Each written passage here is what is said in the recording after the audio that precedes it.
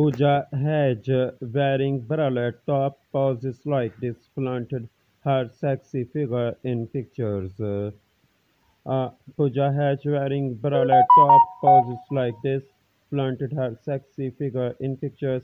Pooja Hedge is seen very active on social on social media, and let us tell you that everyone remains uncontrollable to see the captivating style of the actress. Along with this, the actress is also seen sharing something or the other with her fans. If we talk about Hedge's work front, then let us tell you that she has done many films in the short industry as well. While she started her Bollywood career with the film Mohenjo-daro opposite uh, Hrithik Roshan, but now soon the actress is going to make a big splash at the box office with Salman Khan. Along with this, Pooja Hedge is also wearing small earrings in her ears.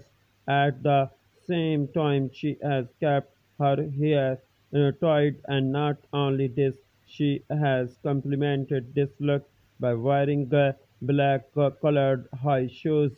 Along with this, Pooja Hedge is wearing blue colored denim jeans, which looks very antique style. Along with this, people are liking this style of the actress very much, and fans were also seen showering lots of love on these pictures of her. Meanwhile, some pictures of Pooja uh, promotion event have come to the fore in which she was seen in a very hot style. The actress has made a short top of yellow color in these pictures in which her figure can also be seen clearly.